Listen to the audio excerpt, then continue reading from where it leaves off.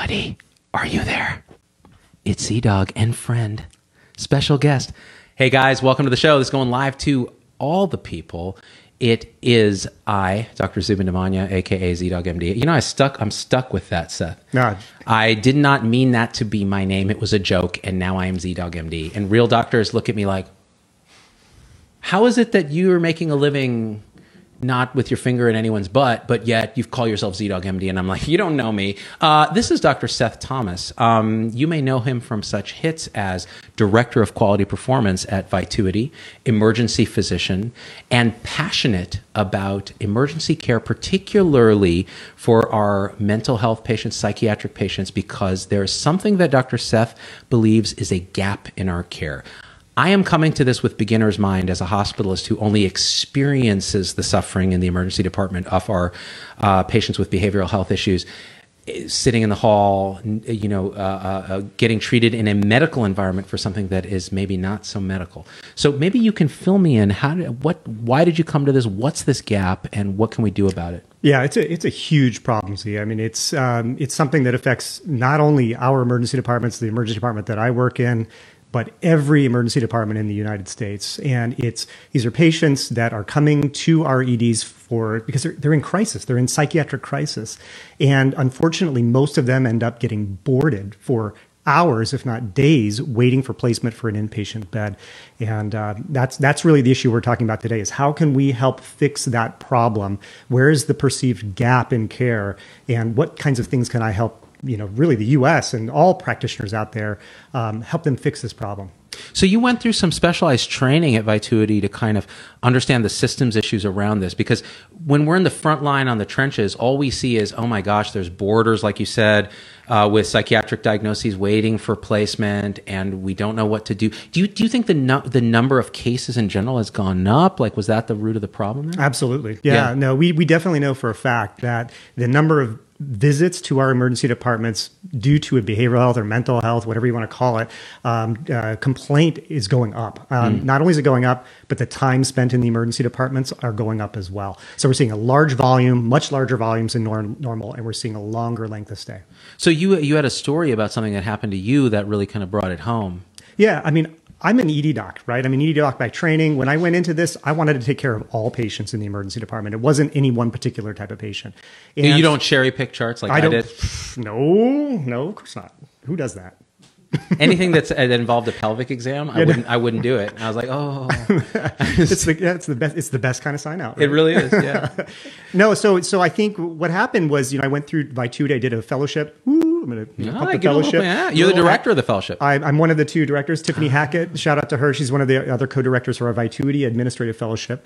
Um, in fact, Alicia and Dylan were, were one of our fellows. the other two guests we had on yeah. recently, and Denise uh, Brown is in the corner. Woo, woo, live around. That's right. Uh, came on the show too to talk about uh, the empath units and things like that. So different approaches. So yeah. please continue. So, so that so that prepared me to be a medical director, and they, you know, and what I ended up doing was becoming a medical director in several different facilities within Vituity, and I noticed that there were some disparities, there were some differences differences in how we care for these patients. In fact, once I got up to Sacramento, which is a different county, because county by county, they take care of these patients differently. Mm. And when I got up there, I remember distinctly a case that really stuck in my mind. It was a 42 year old female who came in for psychiatric concerns and an issue. She was on an involuntary hold. And she ended up staying in our department for five days. Ooh. Five days. Can you imagine being there for five days in our back hall? And um, it's really unfortunate because I never saw her when she came in. Our other ED providers did a great job of medically screening her, looking her over and everything, and said, yeah, you know, she needs to be in an inpatient unit. The problem, what occurred is when I came in, I took sign out, and they come to me and the nurses go, hey, you know, this patient in the back hall has been there for five days. She's now tachycardic. She's got some chest pain, shortness of breath. I said, well, it's got to be asthma. Now it's a medicine it's problem. Asthma. Totally. Oh, so she ended up having a big PE, and I thought, oh, you know, what? like, look, w- oh my God. what are we, what are we doing? What are we doing wrong here? We, we, we are probably contributing to this problem um, just as much as, you know, really the resources are lacking in the community. So the wow. counties, inpatient facilities, everything, we're contributing to this problem. So that's when I really got motivated and I said, we've got to do something different. Wow. So what, and, and, and it seems like an intractable problem though, right? Because you have all this demand and the supply is limited and our processes aren't good in the emergency department for managing patients with acute mental health crisis. So what, what, how do you go about this? Well, it's true. It, you know, we don't have enough resources. That's absolutely true. But I do think that we've got to look at ourselves and say, how are we contributing to this problem potentially as an ED doc? So I, when I, Oh boy, here we go. Oh, I- Administrator going to blame us. no, seriously though, I'm actually with you on this because I think we're a big part of this problem in terms of perceptions, attitudes, and training. So what? To, go on. So I trained at Loma Linda. I got great emergency department, you know, in terms of uh, I, I got great education in, through my residency. But one one thing I didn't get was really how to care for or assess a behavioral health patient or a patient in hmm. crisis. Right? It was more or less just see the patient, make sure there's nothing medically going on, and then wait for somebody else to bail us out. Hmm. And what that really I think perpetuates is really this problem of hey, it's a psychiatric patient coming to the ED. Let's just put them in this bucket. We're going to do the same thing and just stick them in a corner as opposed to now what i'm seeing is boy we could be part of that gap in care. We're not providing the resuscitative care that we provide to other patients. Do i consult cardiology on every chest pain that comes into the ed do i consult gi for every gi bleed that comes? No. I mean i know how to manage these patients on my own but i don't know how to manage a behavioral health patient. And so i think that there is a gap in care. Part of it is ours. I can't become a psychiatrist. I don't want to become a psychiatrist, but I do want to learn parts of their trade that can help me resuscitate these patients in the ED.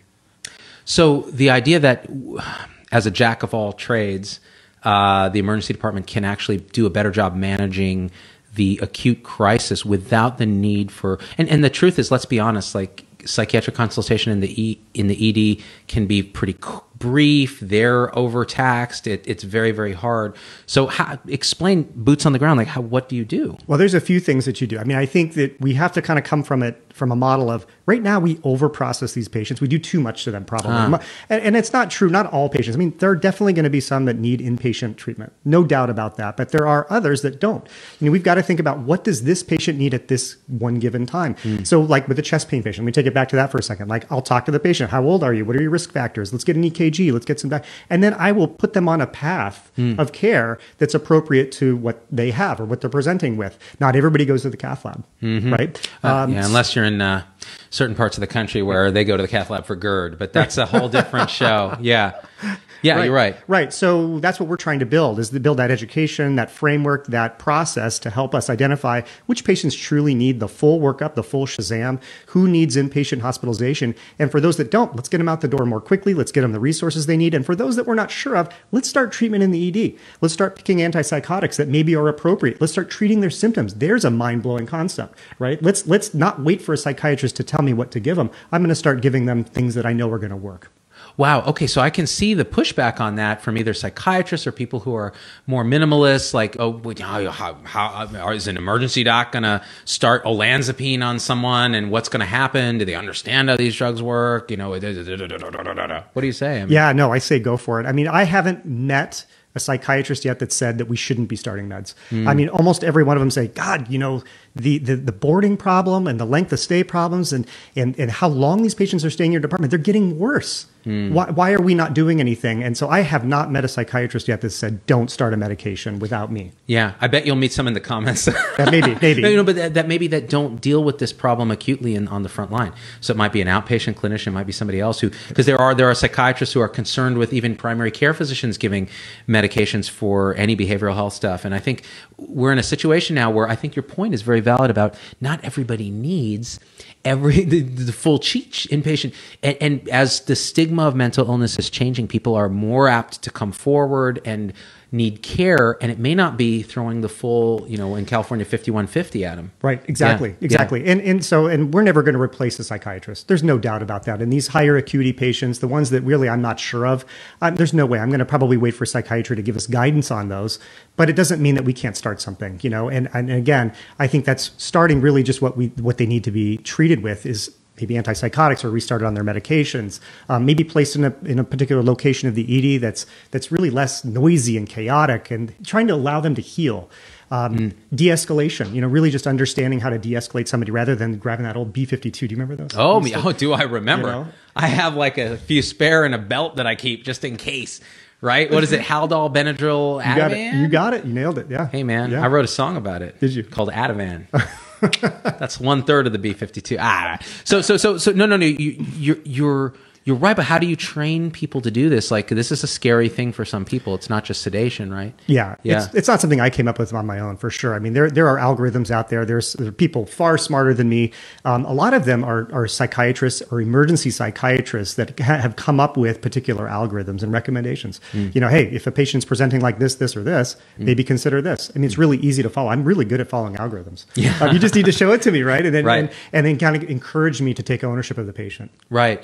And then knowing when to deviate from the algorithm takes clinical experience and a special kind of actually doing it, which I don't, again, like since we're not, we're scared to do it or we're trained not to do it. Like you said, at, at, in your training, it wasn't really something that was, that was pushed. And for hospitalists, it's a similar thing. You know, it's not our, so much our responsibility because they're not getting admitted to us, but a lot of times our patients have these issues and the psychiatrists help a lot, but you know, understanding them better would be important, especially since these drugs have so many medical effects Yep. you know, on diabetes control, uh, delirium, other things like that. Somebody in the comments said, "Hey, I'm tired of ER docs blowing off delirium." I don't, I don't know that I've seen that. Have you? Yeah, I mean, well, I think we sometimes miss it. There's no miss it, doubt yeah. about that. I don't think we blow it off. I mean, I think you're, you're, I mean, and maybe that's a different case or different scenario, but I haven't seen us really intentionally blow it off. That's a serious, uh, that's definitely a serious condition we don't want to miss. And that's something that we should be screening for, for every patient that comes into the emergency department. So, so what are you guys at Vituity? Because you guys actually staff emergency departments do like that. What are you specifically doing to make this problem better? Because it seems to be a focus a little bit of a lot of your efforts, which is again a little unique. A lot of not, not a lot of people are doing this. What are you guys doing? So we have some uh, performance improvement programs that we're running our departments through right now.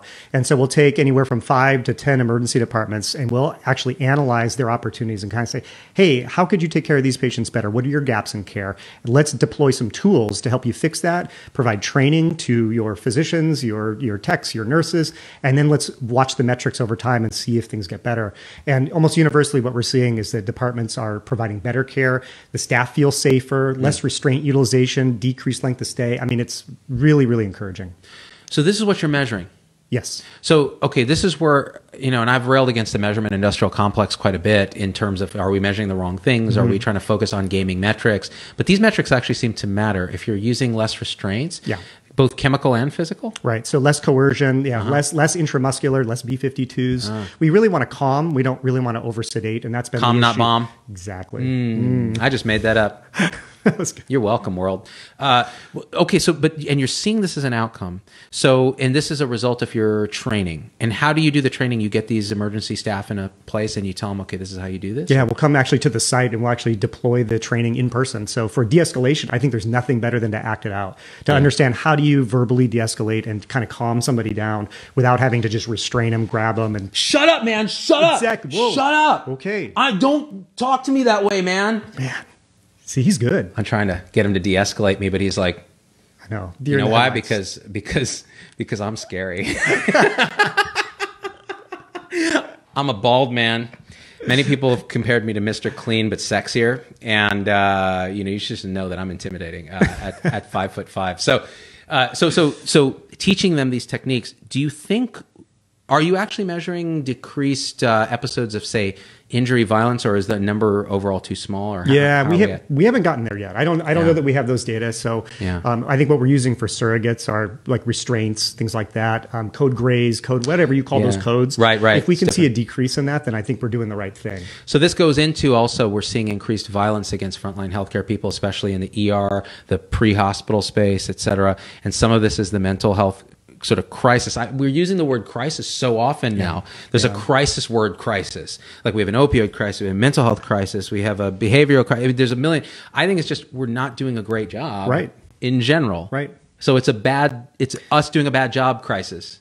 Right. is really I think it yeah, crisis is in crisis now. Yeah, The- that's the right. actual crisis is having a crisis. I hear you. Um, so the answers are actually it's going to take leadership, training, and a culture shift. That's right. It sounds like that's right. It's you know, and, and you've got to. Sh- it's a it's a it's a shift in, Mm. your, in sort of how you approach things. And you know, I think a lot of us tend to think that hey, that patient's escalating. Let's just throw them in restraints and give them a give him an intramuscular injection. But you think about it, like, is that really safer? Probably not. I mean, most of the injuries that occur occur during that takedown, Oh, right? yeah. That the restraint episode, things like that. But if we can offer them something and say, hey, look, let's just de-escalate you. Let everybody step back, take a little time, talk to them. What are your needs? What's missing here? And would you take an oral medication?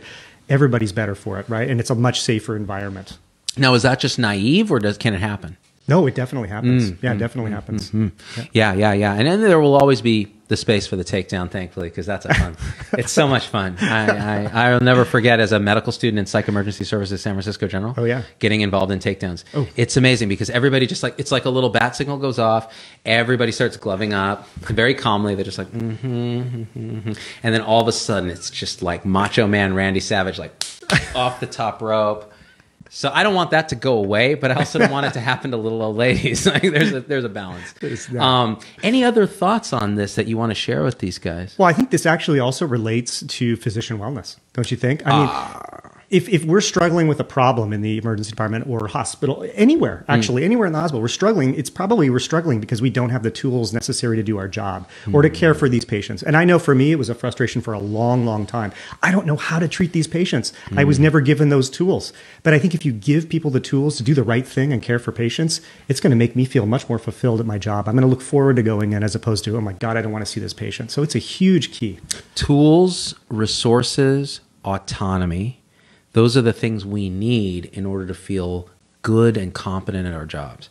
So if the tools are you get training to manage some of this stuff better in the emergency department, you don't go in with that panic, that fear, or that resignation that you can't help.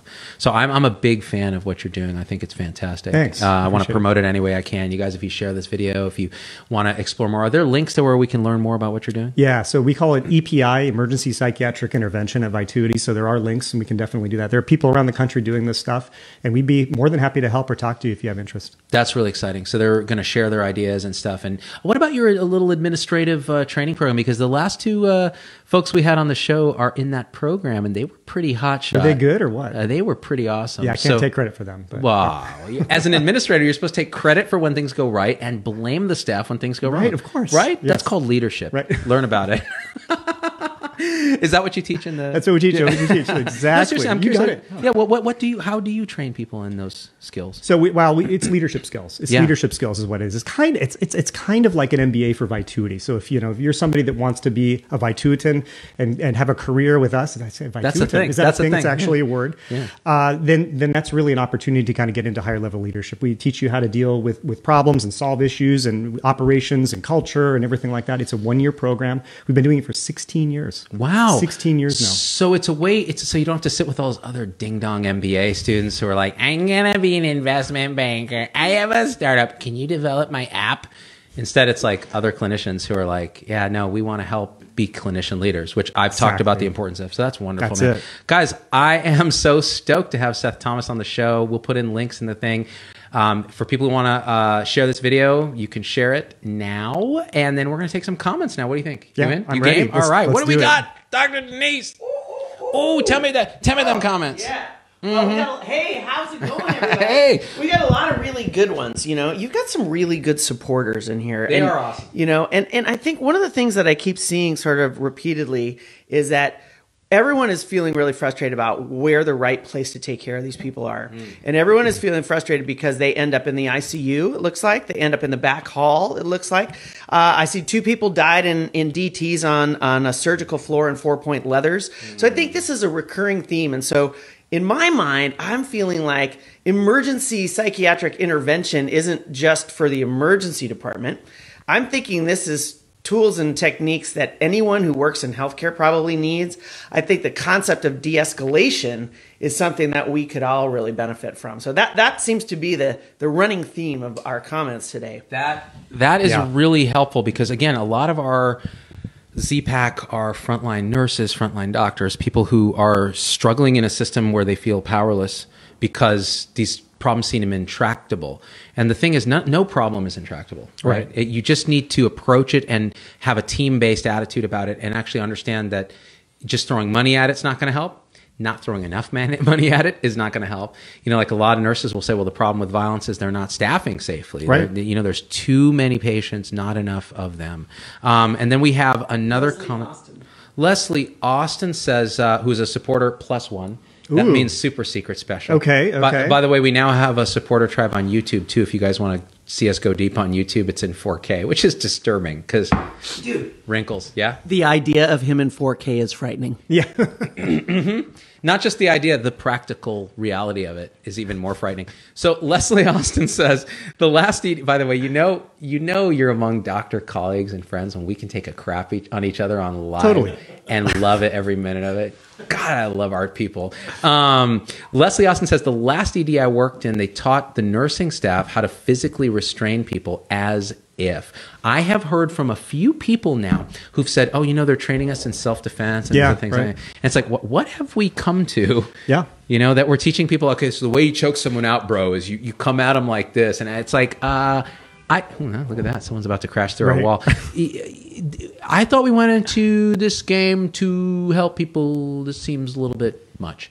Do Yeah. You, do you, how do you feel about that? Well, no, I, th- I think the missing gap here has been de-escalation, right? Hmm. I mean, I think I think some of these things are important. I mean, if you get in a potentially assaultive situation, you want to be able to protect yourself, and Right. keeping staff safe is is important, absolutely huge. But I think we also need to say, God, even the most agitated patient, the most dangerous patient, potentially.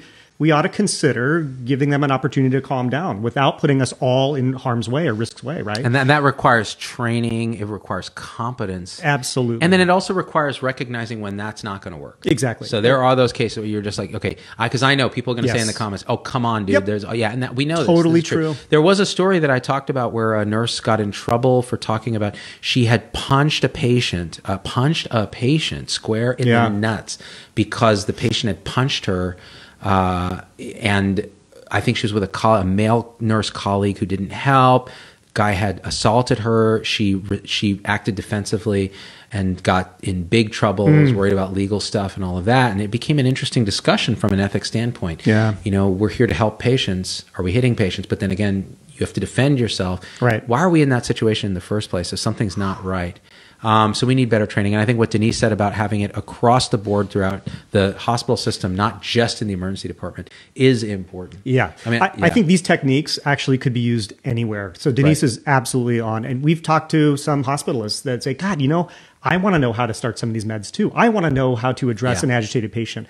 Um, I want to know what you know about taking care of patients in the emergency department. So this is really cutting edge stuff, but I think it can be applied anywhere. Yeah, Honestly, anywhere. Yeah, yeah. Now, and the other thing is, we don't want to be reductionists about medications in psychiatry. I think ultimately we're saying we're stabilizing patients Mm-hmm. Right. so that they can go and get needed care that may not involve high dose psycho, you know, psychoactive medications. It may be that they just need to really get a good therapist. But at the time that they're in crisis in the emergency department, these medications can help them get through that crisis to the point where okay, they're now they're stable to actually do other things. So it doesn't doesn't mean that we're talking about medicating people permanently. And this is something that's been a bit of a point of mine. I had Leslie Carr on the show, she's a psychotherapist, and I, I- you know, she her whole thing is, well, I don't think primary care docs should be starting medications at all because they're covering up. Um, the underlying uh, root cause of these things, which which require work. Now, the thing is, this is a different Right. situation. Right. We're talking about people in behavioral health care. We're not talking about you know somebody in, with the, the, the normal maladies of, of of life that are going to the primary care doc and getting started on SSRI. Yeah. So Yeah. An, it, it, a psychiatric emergency is an emergency. It is an emergency. we have to we have to treat it that way. We have to treat it just like any other patient that comes in. And we don't, you know, I don't know everything about about the chest pain patient or the neurology patient, or whatever, but I know enough Yeah. to get things started and to Yeah. start that resuscitation. And so I got to do the same thing for a psychiatric patient. I've got to learn at least some of the basics. That's awesome, dude. This was super awesome and helpful. I learned a lot. Thanks. Yeah, I'm I'm I'm uh, excited that you guys are working on this. I think others can learn from this. It's really really important that everybody who takes care of patients kind of has some understanding of how we're going to manage these mental health crises because they're so rampant now. And I think uh, apart from addressing the root causes in society, which we have to do as a society, it all falls on our shoulders, right? Somehow, Totally. right? And then we wonder why it costs 3.5 trillion dollars. It's because they, they're asking us to they're, they're they're medicalizing our social problems in this country, right? So that's a whole nother discussion. But for now, for the medical part of it, Seth Thomas is the man. Thanks to Vituity for bringing him, making happen. This is the end of our little Vituity series. That's really been awesome. I mean, Alicia. I mean, we we we learned a lot. I think we had a good time, and that's what it's all about. You guys, and I want to shout out Dylan too because that fool. Okay, kept it real. I see you, Dylan. All right. Um, oh, by the way, because of Dylan's medication observed therapy buprenorphine episode talking about opioids, I got a lot of messages great. from people who are like, we're going to try something like this in our emergency department. We're going to see if we can help. Because again, it gets to the root. I think the theme of all this, and again, I'm getting long winded, but this is important. Okay, to wrap up this Vituity series, what Alicia said, what Dylan said, and what Seth said all relates to this. We need tools to be empowered Yep. To feel like we can competently manage things that previously we have not felt able to manage. In the case of Dylan, he's talking about opioid uh, dependency uh, and addiction in the emergency department and beyond. In your case, we're talking about behavioral health crises and mental health management. And in the case of Alicia, we're talking about our own processing of very difficult stuff we see as healthcare uh, uh, professionals and being able to process that in groups of our peers, which is so important, but through storytelling. So it's been wonderful, guys. Hit share, uh, hit up the links that we'll put in the website post when we post it up, and we out. Peace. Later.